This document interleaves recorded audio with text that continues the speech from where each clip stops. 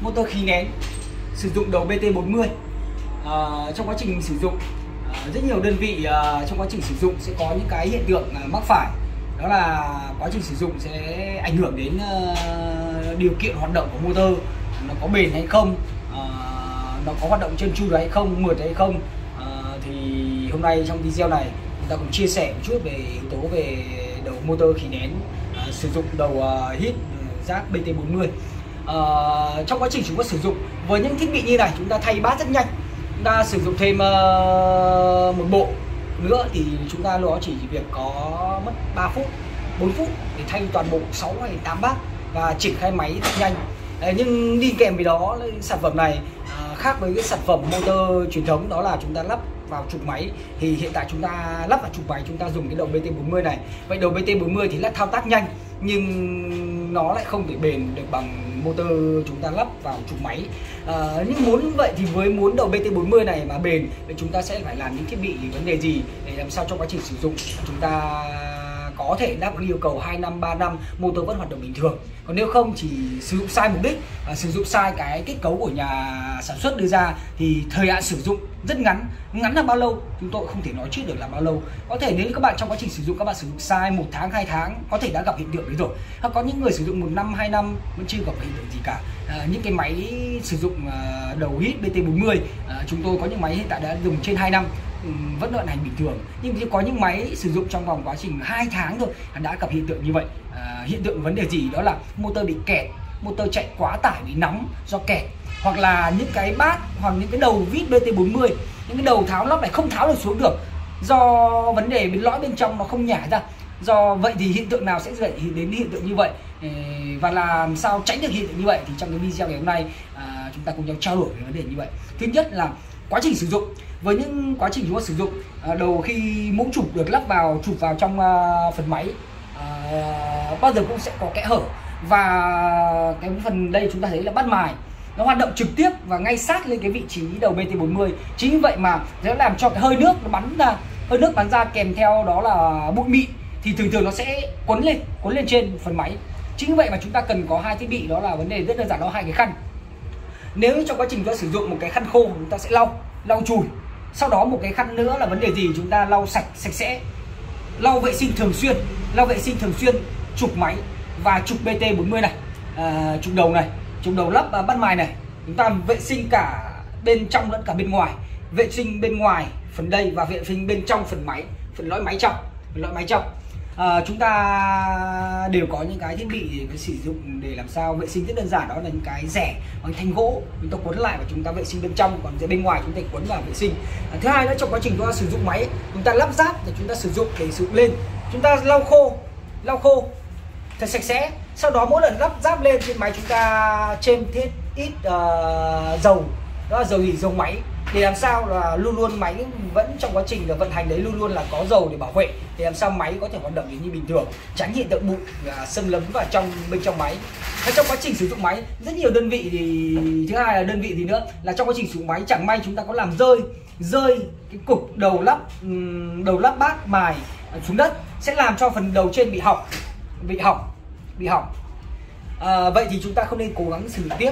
Đầu này thiết bị này chúng ta đều có vấn đề gì chúng ta đều có thể tháo lắp ra tháo ra chúng ta tháo ra.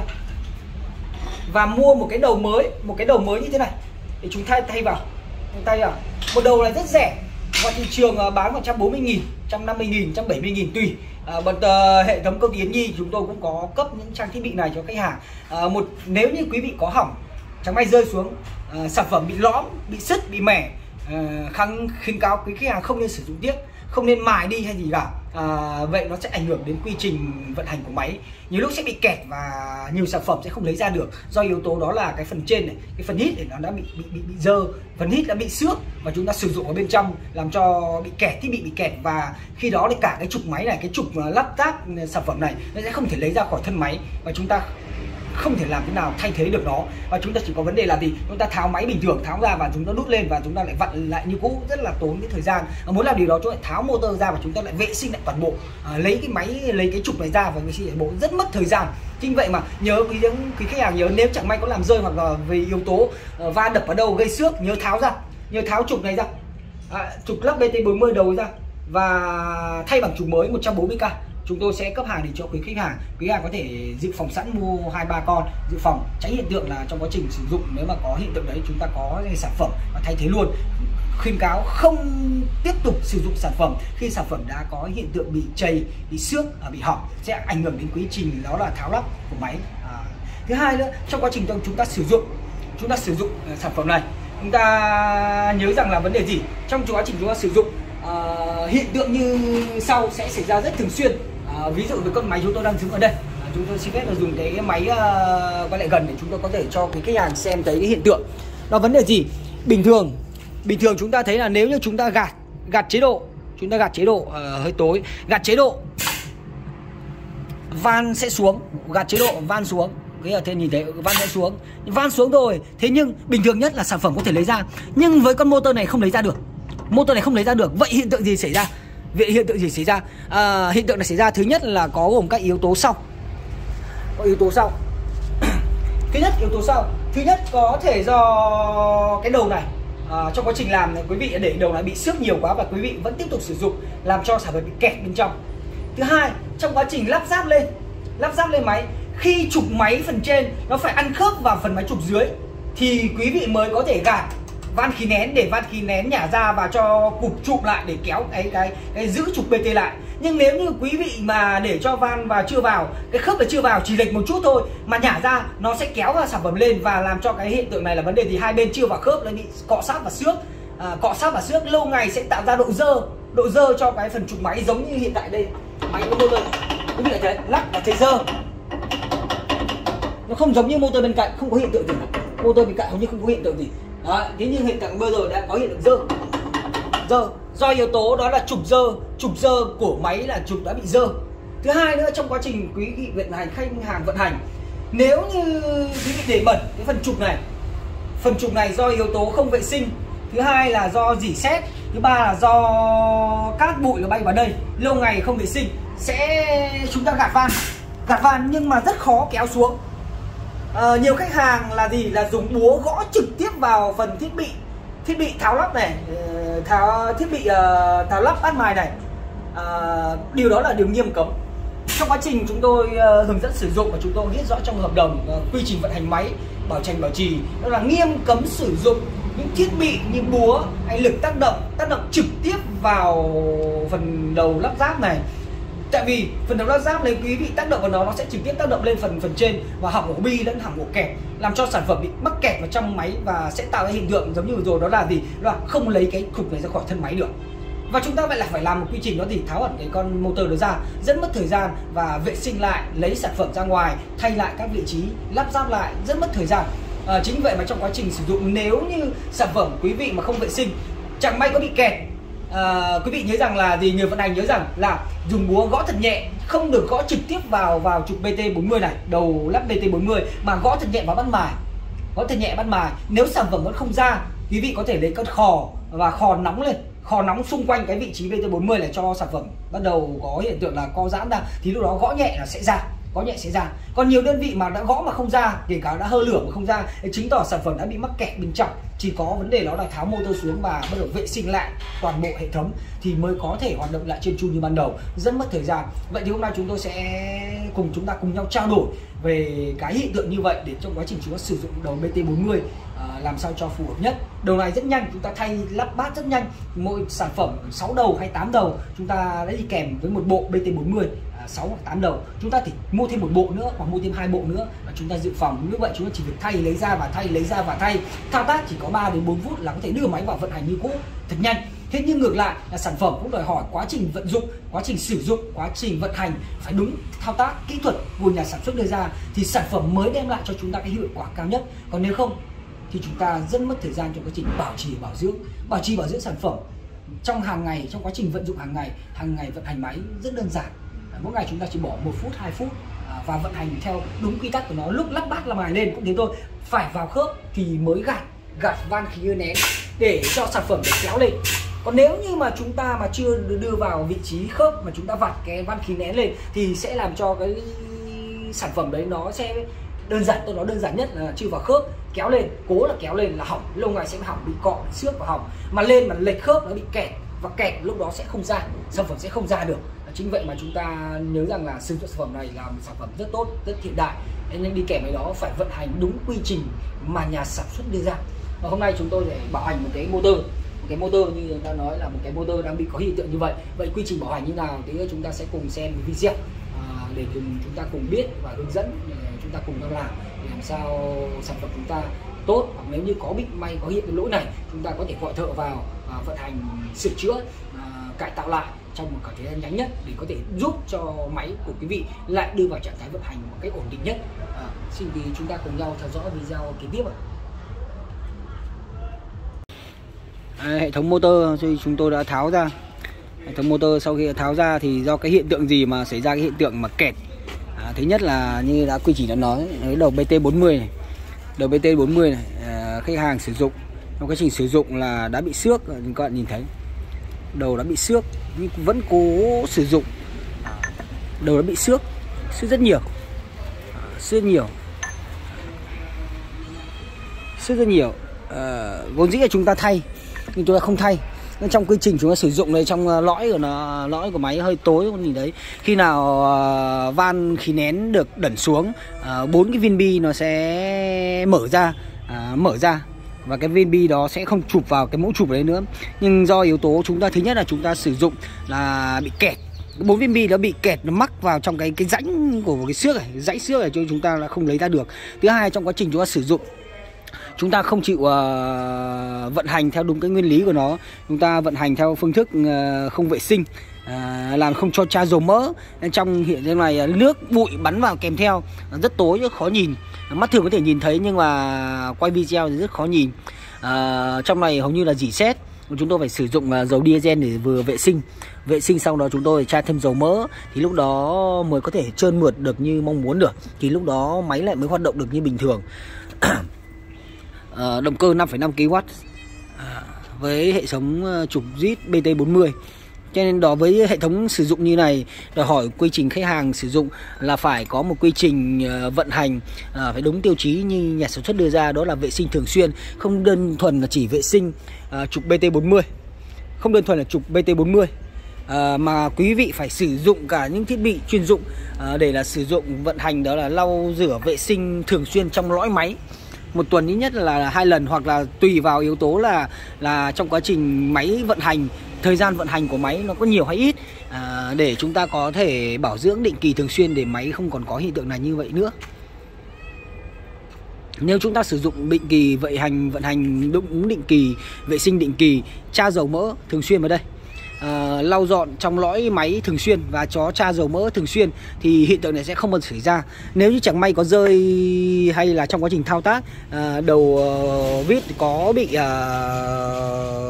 có đinh đầu có bị uh, sứt bị mẻ uh, yêu cầu quý khách hàng không sử dụng tiếp và thay ngay đầu vít mới. 140.000 một đầu vít như này không đáng bao nhiêu tiền. À, nếu như chúng ta tháo máy ra và vệ sinh này rất tốn thời gian rất mất công đoạn và sẽ đắt hơn 140.000 rất nhiều lần. À, nên yêu cầu quý khách hàng chú ý vấn đề nêu trên để máy của mình có thể vận hành liên tục và thường xuyên để đem lại hiệu quả cao nhất cho bản thân mình.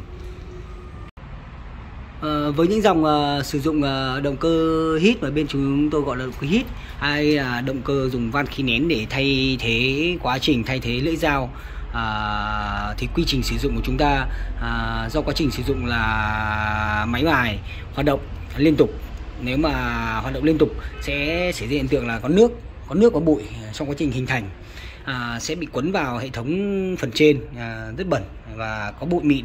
À, trong quá trình chúng ta sử dụng à, sẽ xảy ra cái hiện tượng đó bị kẹt sản phẩm à, như trên đã nói. Kẹt là do yếu tố thứ nhất là do người sử dụng à, đầu bi à, đầu bi tì đã bị à, méo lệch hoặc cho quá trình tháo lắp tháo lắp bắt mài. À, chưa vào các rãnh của nó chưa vào các rãnh các rãnh của sản phẩm à, các rãnh của của của của của, của động cơ à, chưa ăn vào các rãnh của của của ban uh, trục lắp bát. À, mà người thao tác đã ngay nhanh chóng gạt nút gạt nút để làm sao động à, uh, van khí nén thả ra và lò xo kéo lên làm cho giữ được cái cái cái cái làm cho động cơ giữ được cái trục trục trục bát đó. Uh, thì trong quá trình đó thì nó chưa vào vị trí đó thì nó sẽ xảy ra hiện tượng bị kẹt. Ờ, hoặc quá trình lâu ngày. Quá trình lâu ngày sản phẩm là bụi bẩn sẽ theo cái trục đó đi vào bên sâu bên trong ờ, làm cho lò xo bị kẹt. Vậy quy trình chúng ta sử dụng thì trong quá trình ờ, sử dụng ít nhất là một năm tùy vào điều kiện sử dụng của mỗi kho bãi. Lượng gia công sản xuất của mỗi kho bãi, nếu gia công ít thì khoảng 6 tháng, nếu gia công nhiều khoảng 3 tháng. Chúng ta vệ sinh máy và chúng ta bảo dưỡng bằng cái phương thức. Thứ nhất là chúng ta à, vệ sinh máy theo phương thức sau. Đây là một à, mọi người có thể đây là một motor nguyên bản chưa tháo lắp chưa vệ sinh. Và bên cạnh chúng tôi là một motor chúng tôi đã tháo lắp để vệ sinh. Vậy thì chúng ta vệ sinh bằng phương án nào? Thứ nhất chúng ta lấy tua vít tháo ba cạnh ốc ba cạnh ốc ba cạnh ốc của lắp chụp bảo vệ bảo vệ uh, của máy. Sau đó chúng ta dùng lục giác có trong bộ đồ nghề tháo ba con lục giác tạm thời di rời van tạm thời di rời uh, xi lanh khí nén ra bên ngoài. Dọc thời hành khí nén ra bên ngoài sẽ để lộ phần động cơ bên như bên trong. Hiện tại đây là chưa có có có có một uh, thiết bị nữa đó là vấn đề đó là chiếc cái quạt tản nhiệt bằng nhựa. Cái quạt tản nhiệt bằng nhựa quý khách hàng có thể sử dụng uh, hoặc là gọi uh, người vận hành máy có thể sử dụng uh, tua vít hai cạnh chọc vào ních dần ních dần xoay đều xoay đều ních dần ních dần ních dần lên và sẽ để lộ ra một trục máy như bây giờ việc người sử dụng bảo hành nó như thế nào. Trong quy trình đó à, chúng ta gạt van điều tiết lên xuống liên tục liên tục liên tục. Bơm dầu mỡ bơm dầu bơm mỡ vào thiết bị vào vào ổ trục đây. Và cứ để cho vạt gạt van gạt lên xuống liên tục cho mỡ chui xuống dưới trục máy chui xuống dưới trục máy. Nếu như trong quá trình sử dụng nếu van bạn bị kẹt nặng quá chúng ta làm thế nào? À, thì có rất nhiều trường hợp tôi đã tư vấn đó là chúng ta dùng khò lửa hơn nóng hệ thống đây hơn nóng hệ thống đây cho van có có thể cho cho cho cho trục nó nóng ra và chúng ta bơm dầu mỡ vào hệ thống đó. Dầu mỡ sẽ chui xuống và cứ như vậy chúng ta cứ gạt liên tục liên tục. Dầu mỡ sẽ vạt liên tục, dầu mỡ sẽ đi theo mỡ và đi xuống dưới trục van dưới và sản phẩm nó sẽ được như mong muốn. Còn nếu như vẫn chưa ra được thì quý vị tác động lực rất lớn, đó là tì gỗ và gõ búa thật mạnh gõ búa thật mạnh à, thì lúc đó sẽ, sẽ có lực tác động lớn à, van à, trong đó lò xo sẽ được nới rộng ra và à, sản phẩm lại có thể lên xuống như bình thường. Rất nhiều trường hợp là gạt mà van không xuống được tại vì bị kẹt. Thứ nhất là kẹt bên trong lõi lò hồ lò xo à, do thiếu dầu mỡ hoặc là kẹt bên trong do vấn đề là cái đầu à, BD đó đã bị xiết à, và vòng cái bốn con bi nó không nhả ra được. À, vậy chính vì vậy mà chúng ta cần phải làm yếu tố là tác động lực à, vậy thì trong quá trình chúng ta sử dụng nếu như 3 tháng hoặc 6 tháng tùy điều kiện sử dụng chúng ta nhớ tháo lắp. Tháo lắp động cơ. Tháo lắp động cơ à, tháo tạm vừa thời van khí nén à, và xuất hiện motor như sau. Chúng ta dùng à, tôn vít hai cạnh à, nhấc nhấc nhẹ nhấc nhẹ nhấc nhẹ à, nhấc nhẹ quạt làm mát sau đó lộ ra sản phẩm như trên. Chúng ta nếu như sản phẩm vẫn hoạt động bình thường chỉ có vấn đề là chưa chưa chưa đến mức độ kẹt thì chúng ta không cần phải hơi nóng. Còn nếu như sản phẩm đã bị kẹt chúng ta dùng kho lửa chúng ta hơi nóng chúng ta hơi xung quanh vừa hơ vừa xoay vừa xoay trục vừa xoay trục vừa xoay trục hơi xung quanh hơi xung quanh hơi xung quanh cho sản phẩm nóng lên.